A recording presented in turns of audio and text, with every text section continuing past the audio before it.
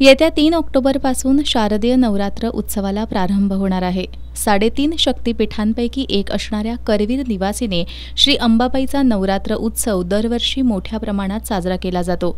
दरवर्षी नवरात्रात देशाच्या विविध भागातून भाविक मोठ्या संख्येनं श्री अंबाबाईच्या दर्शनासाठी येत असतात. यावर्षी देखील नवरात्र उत्सव मोठ्या उत्साहात साजरा केला जाणार आहे. या काळात मंदिरातील सर्व पूजाविधी पारंपरिक पद्धतीनं पूर्ववत पार पाडले जाणार आहेत.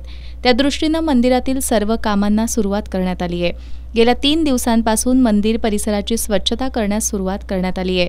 आय स्मार्ट फॅसिटिक प्रायव्हेट लिमिटेड या मुंबईतील कंपनीच्या सहकार्यानं स्वच्छतेच्या कामाला सुरुवात झाली आहे. आज मंदिर शिखराच्या पायथ्याच्या छताजवळ स्वच्छतेचं काम स्वयंसेवकांकडून सुरू आहे.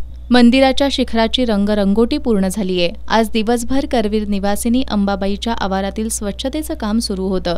देवस्थान समितीच्या वतीनं एकोणतीस सप्टेंबर रोजी मंदिराच्या अंतर्गत भागातील स्वच्छतेचं काम सुरू करण्यात येणार आहे अशी माहिती पश्चिम महाराष्ट्र देवस्थान समितीचे सचिव शिवराज नायकवडे यांनी दिली आहे. गेले दोन दिवस मंदिर स्वच्छतेचं काम सुरू आहे. आणि मंदिराचा बाह्य भाग बऱ्यापैकी स्वच्छता पूर्ण होत आलेली आहे.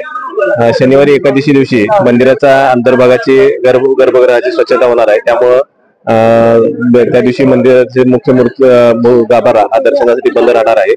आणि उत्सव मूर्ती बाहेर आपल्याला दर्शनासाठी संध्याकाळपर्यंत तर, जोपर्यंत काम सुरू तोपर्यंत बाहेर ठेवलेली असणार आहे.